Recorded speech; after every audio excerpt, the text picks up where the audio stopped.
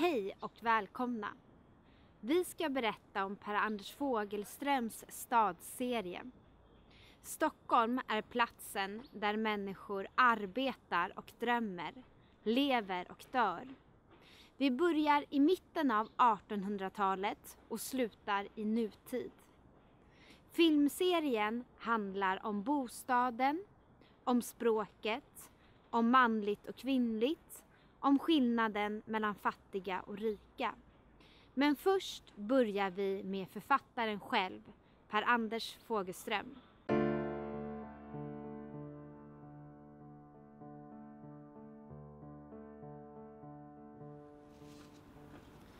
Per-Anders Fogelström föds i en ganska rik familj. Men när pappan flyttar blir de fattigare. Pappan är en av över en miljon svenskar som flyttar till Amerika, som emigrerar till Amerika under den här tiden. Per-Anders Fogelströms faster ser till att Per-Anders får gå i en skola på Östermalm. Det är en skola som kostar pengar. På 1930-talet blir många av eleverna nazister. Det tycker Per-Anders Fogelström inte om. Han skriver en text som är antinazistisk, mot nazismen och så sprider han den på skolan. Samtidigt blir han ledare för Sofia småklubbar. Det är klubbar för de fattiga barnen på Södermalm som erbjuder någonting roligt att göra efter skolan.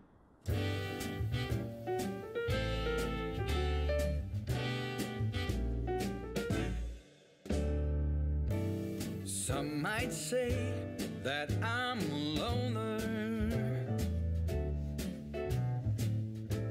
But I just call it being free. I am my heart's only owner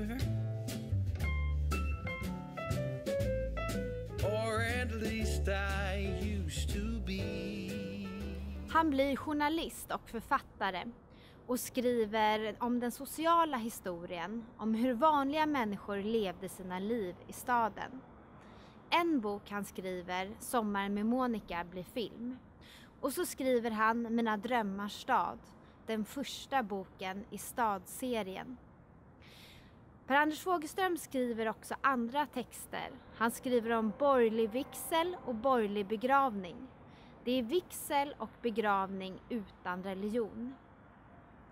Per-Anders Fogelström är fredsvännen och vapenvägraren. Han tror inte på våld. Han tror att om vi slår våra barn så lär vi bara våra barn att slå själva. Våld föder våld. Han arbetar mot den svenska atombomben och blir så småningom ordförande i Svenska Freds. For years I've kept my feelings grounded And gone without all kept within. By these high walls I've been surrounded. Walls to her eyes only paper Anders Fogelström samlade på böcker, texter, tidningar och kartor om Stockholm och Stockholms historia. Han hade ett eget bibliotek. Idag finns det biblioteket på över 80 hyllmeter på Stockholms stadsmuseum. Hans sista adress var här i det gula huset på Fjällgatan 30. Ibland kunde man se hans huvud och hans vita hår sticka ut ur ett av fönstren.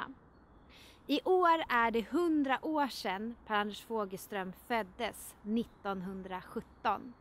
Det firar vi i Stockholm med Per-Anders Fogelströms året.